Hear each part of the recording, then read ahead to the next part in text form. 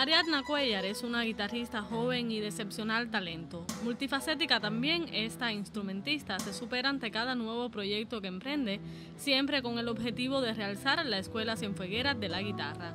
En esta oportunidad, Ariadna asume su ya fecundo rol de compositora, con la realización de una expo concierto que lleva por título Salmos de Llovizna.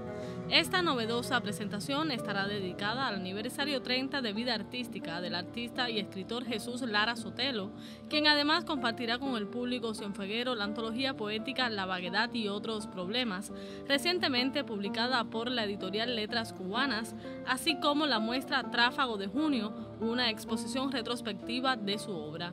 Este concierto tan singular tendrá como sede la Sala Ateneo del Teatro Tomás Terry el próximo viernes 14 de junio a las 8 y 30 de la noche.